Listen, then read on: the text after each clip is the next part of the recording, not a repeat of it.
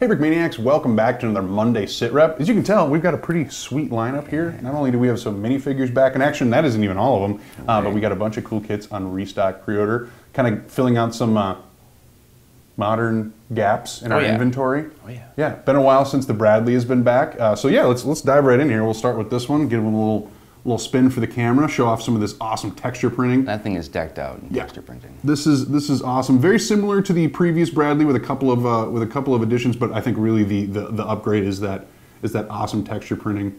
Um, obviously, it's got all of its functions, etc. That orange cone does come with it, but that has to do with uh, putting the rubber over the uh, the wheels inside the tracks. Here, it doesn't just sit there like that. It comes with that minifig in front, so you've got a, a crew, a one-person crew, anyways.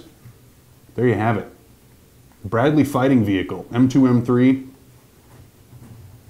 It's a cool little kit. Yeah, it is. It's awesome. And it looks really cool sitting next to the Abrams over there, which is back. You want to give that thing a spin. Absolutely. I love the stud light cooler, Stud light. all the functions.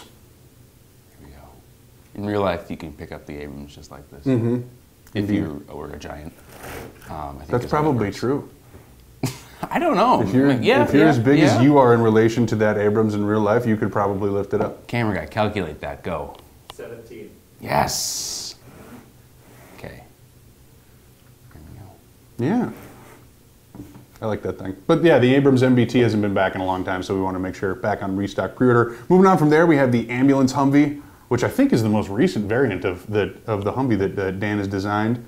Another fully printed. I don't think there's a sticker on that thing because the hood's printed, the sides are printed, the doors are printed. Yep, yep. Yeah, that's that's all sticker. It comes with two stretchers uh, along with two minifigs. However, the minifigs are to drive and to help people onto the stretchers, not to not to be your injured people. But Comes with injured people. right, exactly. You have to add your own injured people to, to have them get scooped up. But Scooped up. Yes. it's a good upgrade. I think we've had you know variants of the Humvee ambulance, etc., available in the past, but this one is definitely the uh, the most updated. And like we've said in the past, it's a true sandbox kit. Um, it's incredibly durable. I mean, it's a box, so it's uh, it's a lot of fun. And then can you, you know, pop the roof off for me? I think Yeah, it's, yeah. it's one of those kits where What's it's got the a way- super easy There's like specific points where you roof pop the to pop off. And then, okay, yeah, there we go. I wasn't quite sure where it separated, um, but yeah, that is very easy. It's just Mm-hmm. what four stud attachment. Yep. So it's still super solid. And then you want to fold those stairs down Fold the stairs down. What are you talking about? on the. oh, on- on- dang! yeah. I forgot about that. Nice, A lot of playability here. nice. This is the Yep. That's your brick built stretcher. or future Space Marine Tars. The Tars is like Doesn't look like that got a lot of flexibility. Tars there. is awkward cousin. I think this joke has run its course. Indeed. Let's move on from the Humvee uh, to the modern Kiowa. This is another one where I do not think we are looking at any stickers. Pretty sure this is a fully printed model. Um, comes with these two minifigures with these awesome helmets, which are also printed and 3D printed. A scary black helicopter. Yeah, I, I, I'm really liking this Kiowa helicopter. Like, you Mm-hmm. know, it starts off in the kind of the Vietnam era, and they've continually just kept upgrading it. Right. And this thing is this thing is dangerous looking. So I know a lot of people have been like, you know, bring back the little bird, and uh, this is what we're able to do, and also just as cool, in my opinion. Yeah, like I guess because it's kind of what I was was hinting at. It's like you think about the little bird in terms of like cool, like tactical helicopters, but dang, this thing's pretty dope. Yeah, no, no, it's awesome. And that, uh, oh gosh, correct me in the comments. The GU18. Yeah. With the with that, uh, I think this one's a short, short uh, feed belt, and then that uh, the rocket pods on the other side. What a sweet weapons loadout! I mean, Yeah. just a really cool. You know, obviously this thing comes with a a lot of different ones. It can be loaded up with, with just about anything, but the two that D- Dan chose, I think, are, are badass. I mean, that's just no other way to put it. So, Well, and going back to the to the Vietnam era one again, you think of either the smaller Scout helicopter or the Huey. right, Um, but it's like this the the precursor to this version would actually fly in with the cobras Mm-hmm. kind of ahead get the people on the ground's attention firing off their gun and then the cobras would come in and Right. do the actual big damage but crazy crazy helicopter still crazy helicopter Mm-hmm. Yeah, and then you know, like we were saying, there's just something about the you can just see this thing. You know, you hear it before you see it, and then suddenly it just drops out of the night, right and that's awesome. Unreal. I really like that. So, and then we also have the uh, the UTV back. I didn't have one built for whatever reason, so I just got the the packaging to show off here. That's another popular one that we've we had back kind of around the holidays, and I think it moved pretty quick because it's a popular stocking stuffer, um, and so we wanted to make sure it's it's back and available. I know those mini kits are tough to keep in stock. We try to do batches of 100 for those. We do batches of 50 usually for for larger, uh, more expensive kits, but it sometimes doesn't seem to matter. Those those mini kits still just they cruise. I don't know if people like want to fill out their arsenal and buy multiple of them or whatever, but uh, that uh, I can see why. Because especially when you've got this all loaded up with dudes and uh, perfect caliber brick arms. Right. Yeah, this thing is just begging to be customized. Mm-hmm. Like this awesome little kit, good starter platform. Yeah, that's a good point too. You can you can add some of your own bricks and Oh yeah. turn it into some sort of monstrosity. Add a couple of those U clips and put a put a machine gun on top of it and have someone chilling in the back. Yeah. Or even when like when I'm doing some pho- uh, photography stuff occasionally, and more so in the past, but um, you know the UTV works really well as like a background diorama piece for if you're photographing like minifigures. Mm-hmm. You know, you do, you put you build a little UTV, add some trees, a little bit of a simple background in the back in the back, and uh, minifigure in front of that, and you have a nice backdrop for just minifig photography. So. yeah, it's a cool way to look at it. I, I I, like- I, when I see kits, I see background diorama. No, I'm just- Well, but it, I know what you mean though, because you know you put the Abrams in the background, and it's just kind of like what's there's a big tan thing behind this person. But if you kind of you know have something a little bit smaller where you can see the shape of it in general, people already Yeah. know what's what's back there. So a cool background element. Buy it and play with it. oh, that's what you're doing. You know, that's Right, that's true. That's true. Setting it up is, is playing with it. So let's uh, let's dive into the minifigs because we've got some some awesome ones back. Yeah. Before we get to the physical ones, though, I want to list off the ones that we don't have in front of us because uh, these haven't been back in a long time, so we didn't have the physical copies. As a matter of fact, that Navy SEAL is like fresh off of the printer. So we have the uh, Viet Cong Guerrilla male and female. Both of those are back, as as well as the uh, Perfect Caliber Brick Arms Mosin Nagant with no scope. Those are the three things that we don't have here actually present with us. But we do have those. yeah. Yeah. Yeah. You want to go over those? Do I? Which one first? Well, we, let's start with the seal.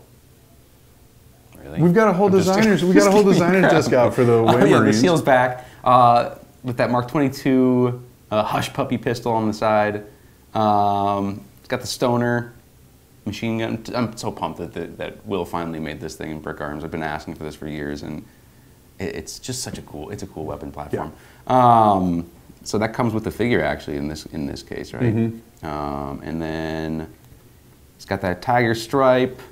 Got the blue jeans. What the heck are you wearing blue jeans for? It's so cool. Um, badass. Apparently they didn't rip as easy as the fatigues at the time. I don't know. I think they also Makes sense.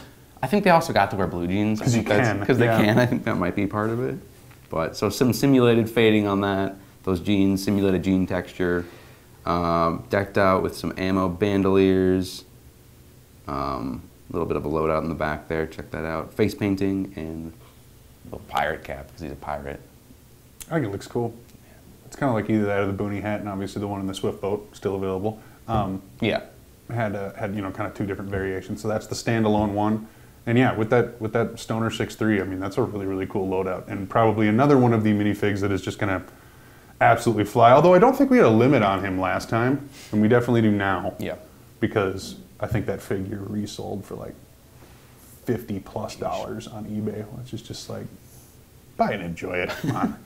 You know, just enjoy it. Yeah, right. So that'll be available now, and then obviously the Way Marines finally back in all three variants. I know we kind of had like a, a stagnant drop of those across about a week or so, but now they're all back, ready to rock. Check out the minifig review for They're all all, subtly different. It's Mhm. the same figure, but three different variants.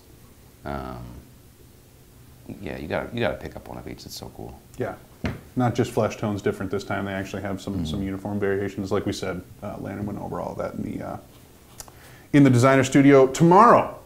Buy one get one stickers. We have a lot of awesome Vietnam sticker packs in stock right now. We have a Huey upgrade pack that you can turn your old Huey, new Huey, whatever Huey into uh, a medical chopper. We have Viet Cong guerrillas. We have jungle boots. We have Marines. And I can't remember if we have grunts. I know we have those other ones. I can't remember the last one. So, but we have quite a few of those available. Obviously, it's not just the Vietnam era ones uh, that are buy one get one. It's all of them across the board. Uh, so take advantage of that. Uh, one day only, starting tomorrow. There we go. But it's the second Tuesday of every month, so even if you miss one month, you know you get it get it back again. You can figure it out. Uh, remember, the MOC contest ends on June first, uh, 2021. All the minifigs are fair game. I probably wouldn't put any of these necessarily in your Vietnam lineup, but we had a bunch of new releases, and we will have you know we have the M113 we restocked. A Cobra is still available. Uh, there, there's plenty of stuff out there to be able to put into your MOC. So I would assume we've already had some submissions, which I, I have to say it's a little early. It's a little early. Some good builds, but it's a little early. Let's maybe wait until the month of January is done so you can see everything this guy and Dan have cooked up, ready to go for, uh, you know, Vietnam bricks. Oh, yeah. And then once you've got all your assets, then let the creative juices start to flow and start building stuff because we're looking for some unique MOCs. Um, just already based off of the initial reaction, I'm betting we are going to have a pretty strong showing uh, Yeah. for this MOC It's contest. Yeah, it's going to be awesome. Plenty of time to build, so go big, go bad. Um, you know, make it happen. I'm excited for the like compilation of all the different entries that you're gonna post up like a blog post or something I usually. I usually post like our, our finalists. Sure. If we found out during the World War One contest that if I just randomly post a bunch out there, people automatically assume if they make the Instagram post that I'm a runner up. That's not how it works. We're just showing off cool yeah, stuff. right. That's not how it works. Um, so I just kind of wanted to tread lightly in that sense Sure. and, and make sure that we're posting stuff that is actually you know in the in the finals. and so, but In we any will have. case, a, it's awesome just to see submissions, regardless of, of if they win something or not. It's, Mm-hmm. I just love seeing people that are just super into history and trying to recreate some cool cool aspects, some interesting aspects of it. So. Mhm. Our grand pri- prize winner for the last MOC contest we got got a free bulldog. M41 with the crew, all yeah, right. Like that's a pretty sweet grand prize. I would imagine uh, that the grand prize for this one is going to be awesome as well. We don't know quite what that's what that's going to be late yet because we're not 100% sure what the summer is looking like, but it will probably be in relation to our next MOC contest, kind of like the uh, bulldog was for this one. Sure. Pretty dang cool. Yeah. Good lineup. Um, and then finally, like we said on Friday, coming on February 1st, the AC130 pre-order will drop that day, uh, and it will likely be the last batch of the motorized variant that we are going to do, uh, because, well, Bricklink's running out and Lego isn't making any more.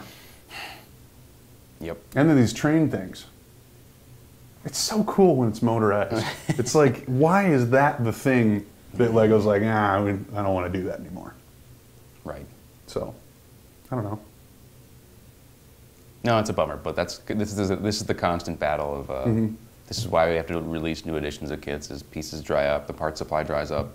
Um, I mean, you can see for yourself on, on Bricklink, they have all the, the pieces, um, the sales history of all of them. So it's just it's it's a continual battle to try and find enough pieces of certain elements. So And I would say that there's there's very very few, if any, people who are more tuned into the happenings across Bricklink Sure. than than we are. I mean, we've got people whose literal job it is to make sure that we've got the parts and pieces to be able to create all of this kind of stuff. So that is that is a huge part of, of keeping the custom Lego game in action. And so there's Oh, yeah. very little that happens on that site that we don't know about. And uh, we, we try to give heads up when possible. And I know that, that you know the AC130 is a kit that obviously everyone I'd love to own one. I'm sure you would too. Not going to happen. But there is people out there who are like, hey, if this is the last chance to get it, I want to be ready. So we want to make sure we got you know enough heads up so that you don't actually you know have to save during the pre-order phase and you're watching them sell and you're like, oh my gosh, I wish I had known this was the last chance. Now you know. Pre-order dropping on February 1st. So. What other secrets and cool, exciting things do you have planned for us for the rest of the month?